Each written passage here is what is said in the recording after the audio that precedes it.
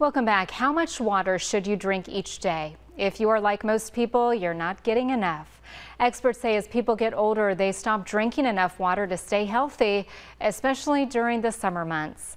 13 News consumer technology reporter Jamie Tucker has found an app that helps you stay hydrated.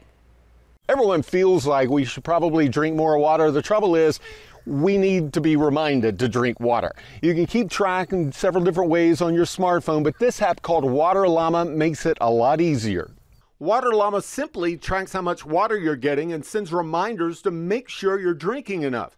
You'll enter your age, gender, height, and weight so that Water Llama can calculate how many ounces you need. When you drink any beverage, you log it into the app. Water Llama uses animated characters that fill up with different colors as you log your intake, making it easier to see your progress. If you start the day with a tall glass of water, log it in the app. Track your other beverages too, and the app shows how much hydration they provide. For example, water has a hydration level of 100%, while milk provides roughly 30% more. Water Llama sends notifications through the phone and on an Apple Watch throughout the day so you don't forget, and you can log your intake on the watch.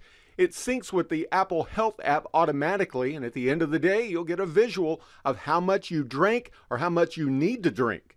Now, the free version of Water Llama has some very basic features, but the premium version is just $7 a year, which is about the cost of a couple of bottles of water. Sorry, Android fans, Water Llama is iPhone only. I'm Jamie Tucker, and Water Llama is the app of the day.